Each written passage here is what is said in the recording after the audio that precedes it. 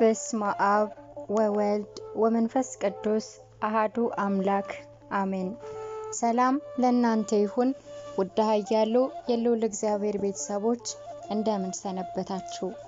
ውድና የተከበራችሁ የማራኪ አስራተ ማርያም የዩቲዩብ ቻናል ቤተሰቦች ሰላማችሁ እንደ ምድር አሸዋ እንደ ሰማይ ከዋክብት ብዝት ትረፍረፍ ይበልልን። አሜን። እነሆ ጸያሄ ፍኖት መንገድ ጠራጊው የተሰኘውን ምንባብ ቀጣዩን ክፍል ወደ እናንተ ይዘንላችሁ መጥተናል። ጸያሄ ፍኖት መንገድ ጠራጊ በአባታችን አባ ገብረ ኪዳን ግርማ። በባለፈው መርሃ ግብራችን በምዕራፍ አራት በክፍል ስምንት በእግዚአብሔር ፊት የምቆመው ገብርኤል የሚለውን ተመልክተን ነበር። እነሆ ለዛሬ በምዕራፍ አምስት በክፍል አንድ ተአምሆተ ቅዱሳን ምክንያተ ሀብኦተ ጽንስ የሚለውን እንመለከታለን። ምክንያተ ሀብኦተ ጽንስ እናታችን ቅድስት ኤልሳቤጥ ልጅ ባለመውለድ ብዙ ግፍ ደርሶባታል። ሕያኤል ልጅ አጥቶ የመከነን እስራኤል ልጅ አጥቶ የመከነን ሰው ከተረፈ መስዋዕት ይከለክሉታል፣ ሀጥ ይሉታል፣ ይነቅፉታል፣ ይሰድቡታል። በዋሉበት ለመዋል ባደሩበት ለማደር ያሳፍሩታል። ሀጥአ በረከት ሙልአ መርገም የበቅሎ ዘመድ ቢወልዱት እንጂ አይወልድም።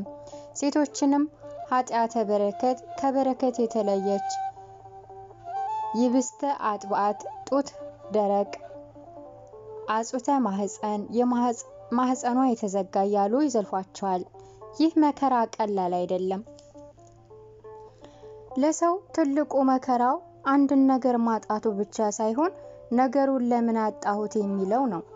ከዚህ የባሰው ግን ሰዎች ስለ እኛ የሚወረውሩትን የአንደበት ጦር ትዳር ይዞ ልጅ ማጣት፣ የልጅ ፍቅር፣ የልጅ አገልግሎት፣ የልጅ ትምክህት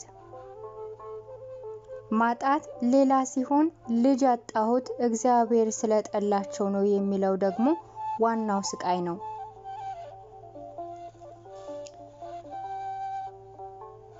ይህ ሁሉ ነቀፌታ የነበረባት ስትሆን ነገር ግን በመጸነሷ ይነቅፏት በነበሩት ሰዎች ይልቅ ልትመካም አልወደደችም። ይህ እግዚአብሔር አደረገልኝ አለች እንጂ እኔ ያደረግኩትም አላለችም። ጻድቃን ሁል ጊዜ ጸጋን ባገኙ ጊዜ ክብሩን ለእግዚአብሔር ይሰጣሉና ራሳቸውን ይሸሽጋሉ። ኃጥአን ግን በጉልበታቸው ያደረጉት ይመስል ያላቸውን ብቻ ሳይሆን የሌላቸውን ሳይቀር እንዳላቸው ሰው እንዳውቅላቸው ይሻሉ። የሰይጣንና የእግዚአብሔር ሰዎች በዚሁም ይታወቃሉ።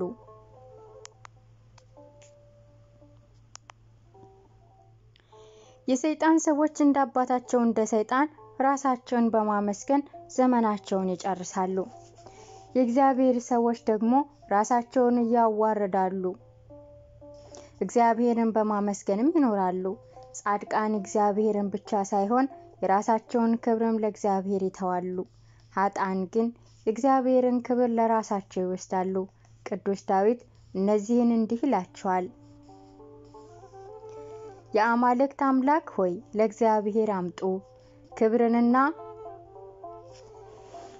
የአማልክት ልጆች ሆይ ለእግዚአብሔር አምጡ ክብርንና ምስጋናን ለእግዚአብሔር አምጡ፣ የስሙን ክብር ለእግዚአብሔር አምጡ እንዳለ ዘማሪው።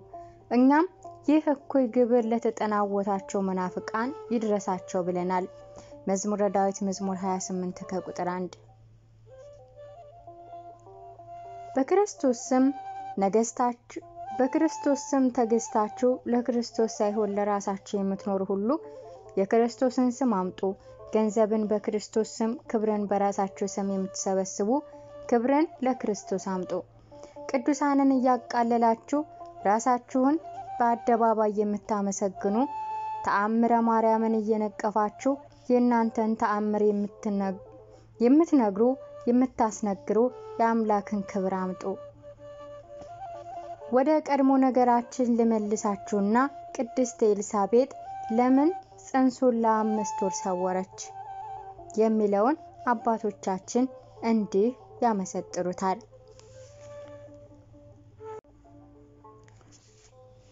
ስለ ትህትና ልጅ መውለድ ሁሉም ሴቶች የሚያደርጉት አይደል እንዴ?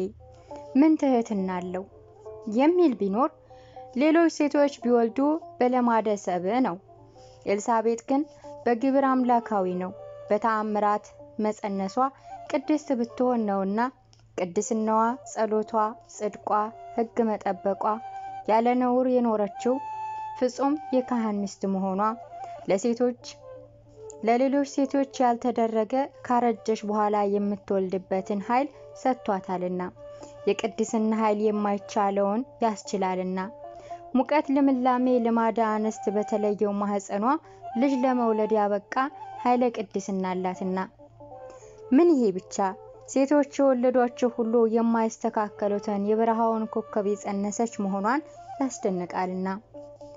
አምላኩን በመከራ ይመስል ዘንድ እንዳለው በጽንስም እንደ አምላኩ በብስራተ መልአክ በመጸነስ የመሰለውን ወልዳለችና ኃይለ ሃይማኖቷ ሰማያውያን እሳታውያን ሊያዩት የማይችሉትን መለኮት ዳሶ በውሃ ያጠመቀ ምድራዊ ሱራፊ ጸንሳለችና እንዴት አያስመካ!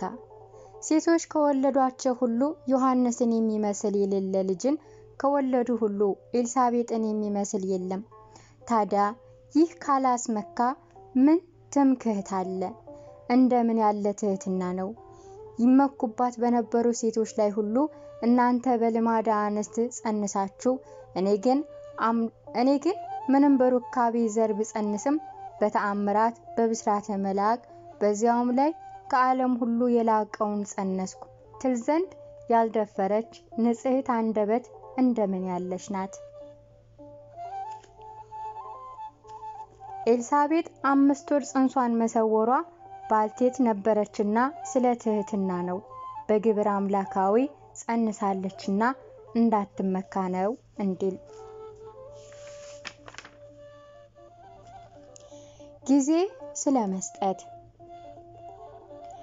አንድ ነገር ባገኘን ጊዜ መቅደም ያለበት እግዚአብሔርን ማመስገን ነው።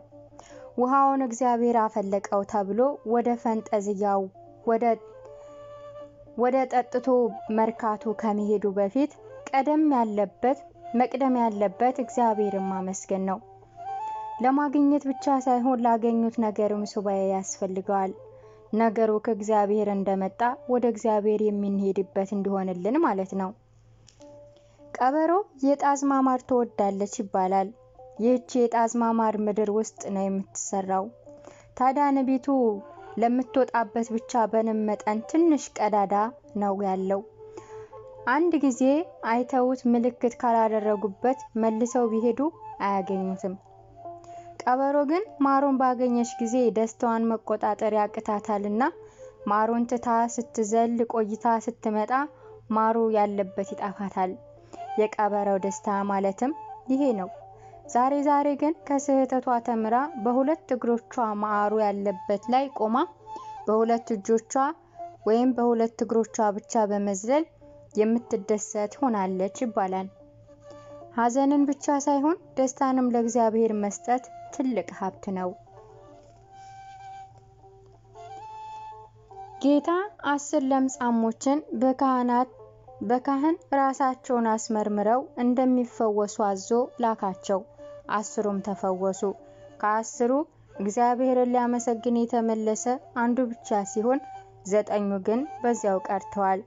ጌታም እጅግ አዝኖ አስሩ አልነጹምን? ዘጠኙስ እንዴት አሉ ብሎ ጠይቋል። የሉቃስ ወንጌል ምዕራፍ 17 ከቁጥር 27። ነቢዩ ኤልሳ በሰራፕታ እንድትመገበው ለታዘዘችው መበለት አስቀድመሽ ከዱቄቱ ለእኔና ለእኔ ታናሽ እንጎቻ አድርገሽ አምጭልኝ፣ ከዚያም በኋላ ለአንቺና ለልጅሽ አድርጊ ማለቱ ለምንድን ነው? መጽሐፈ ነገሥት ቀዳማዊ ምዕራፍ 17 ከቁጥር 13። ኤልያስን ያህል ጀግና የማይሰበር ጽኑ ባህታዊ ለምግብ ሳስቶ ነውን? አይደለም። ከምናገኘው ቀዳማዊ የእግዚአብሔር ከዚያ የኛ መሆኑን ለማስተማር ነው እንጂ። አባቶቻችን ሊቃነ ጳጳሳት ለዲያቆናት ቅስና፣ ለልጆች ድቁና ሲሰጡ ይህን ያህል ጾም፣ ይህንን ያህል ስገድ እያሉ ይሰጣሉ። ክህነቱን ለሚቀበል ሕይወትን ማዘጋጀት እንደሚገባ ተዘጋጅተው እንደሚመጡ የታወቀ ነው። ነገር ግን ጾም፣ ስግደት፣ ሱባኤ ቅጣት ሳይሆን ማመስገኛም መደሰቻም ነውና ስላገኙት ክብር የጾም ጊዜ መሰጠቱ ስለዚህ ነው። ሌላው ቀርቶ ዛሬ ዛሬ የአሁን ልጆች እኩል ሆን እንጂ ቀድሞ አባቶቻችን ቅስና አምጥተው ቅስናቸውንም መስቀላቸውንም እስከ ሁለት ሶስት ዓመት ደብቀው በድቁና ዝቅ ብለው እያገለገሉ ይቆዩ ነበር። እግዚአብሔር እንዳደርግልን ብለን ከምንገባው ሱባኤ በእጥፍ ስላደረገልን ነገር ሱባኤ መግባት አለብን። እንዴት እንደምንይዘው ካላወቅንበት መክፈልቱ መቅሰፍት፣ በረከቱ መርገም፣ ሹመቱ ሽረት ይሆናልና ላገኘነው ጸጋ ጊዜ ካልሰጠነው ላለ ጊዜው ይነጠቃል። ቅድስት እናታችን ኤልሳቤጥም ለዚህ ነበር ራሷን የሰወረችው። ሰው ነቀፌታዬ ተወገደ ሲል ራሱን ይገልጣል። የእርሷ ግን የሚደንቀው በተቃራኒው ነው። ነቀፌታዬን ከሰው መካከል ያስወገደልኝ ዘንድ ጌታ በተመለከበት ወራት እንዲህ አድርጎልኛልና ስትል ራሷን አምስት ወር ሰወረች። የሉቃስ ወንጌል ምዕራፍ 1 ቁጥር 34።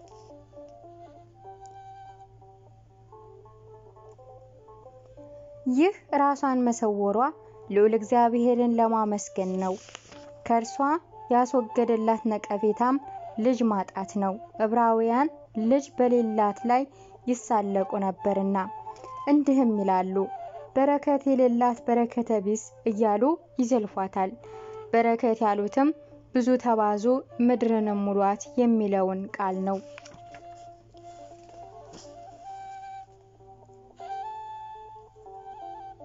በእርጅና ዘመኗ ስለጸነሰች አፍራ እንዳይባል ሳራ፣ ርብቃ፣ ራሄል አላፈሩም።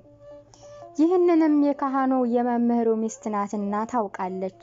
እንግዳውስ ለምንድን ነው ቢሉ በስድስተኛ ወር እመቤታችን መጥታ ሰላምታዋን ሰምቶ የሚዘልበት፣ የሚፈነድቅበት፣ የሚሰግድበት የሕፃኑ ሕዋሳት በበቂ ሁኔታ እንዳድጉ እስኪደላደሉ ድረስ ነው። በስድስት ወር ጽንስ ይደላደላልና ይላሉ አበው። ቅዱስ ኤፍሬም መሳሪያነቱ እንዲቀና አምስት ወር አቆየው እንጂ ጽንሱ የዘለለው አምስት ወር ስለሆነው ሳይሆን መንፈስ ቅዱስ ኃይል ስለሰጠው ነው ይላል። ኤልሳቤጥ ለእመቤታችን ጌታን ጸንሳ በሆዷ ይዛ እስክትመጣ ጽንሷን እንደሰወረች ቅዱሳን ጌታ በሥጋ ማርያም ተገልጦ በክበበ ትስብእት በግርማ መለኮት ከቅዱሳን መላእክት ጋር መጥቶ ዋጋቸውን እስኪያስረክባቸው ድረስ ራሳቸውን ይሰውራሉ። አበው ሊቃውንት ጻድቃንን በድንች ሀጣንን በገብስ ይመስላሉ። ገብስ ፍሬውን በራሱ ይቋጥራልና ወፍ ይለቅመዋል። ሀጣንም ሁሉን ለሰው ይታዩ ዘንድ ያደርጉታልና ሰይጣን ለቅሞባቸው ይቀራል። ጌታም እውነት እላችኋለሁ ዋጋቸውን አገኙ ማለት ዋጋቸው ውዳሴ ከንቱን አገኙ ሲል ነው። ድንች ከላይ እየከሳ ፍሬውን በስሩ ከምድር በታች ቀብሮ ያኖራል። ጻድቃንም ስራቸውን በምድር በሆነ በትህትናቸው ቀብረው እየጎሰቆሉ ይኖራሉ። ድንች ማፍራቱ የሚታወቀው ቅጠሉን በማርገፍ በወገቡ በመዓዛው በመወየቡ በመዓዛው ሲሆን ቅዱሳንም በተጋድሏቸው በመከራቸው ከእነርሱ በሚፈልቁት ስነ ምግባራት ክርስቶስን በሚመስሉበት መዓዛቸው ነውና። አምስት ወር ተሰውሮ ስድስተኛው ላይ የተገለጠ አምስት ሺህ ዘመን ሁሉ ነገር በመጋረጃ ኑሮ በስድስተኛው ጌታ ሲመጣ ሰማይ ተከፍቶ አየሁ ለማለት በቅተናልና። በኤልሳቤጥ የተሰወረው ጽንስ ድንግል ማርያም እስክትመጣ ቆይቶ በእርሷ ስትመጣ አለሁ ብሎ እንደተገለጠ እመቤታችን እስክትመጣ ድረስ ምስጢር ሁሉ ህቡዕ ሆኖ መቆየቱንና በእርሷ ምክንያት ለፍጥረት ሁሉ ምስጢር መገለጡን ያስረዳል። አባ ጊዮርጊስም የክብር ምንጭ የምስጢር መቅጃ እንዳላት በሰዓታቱ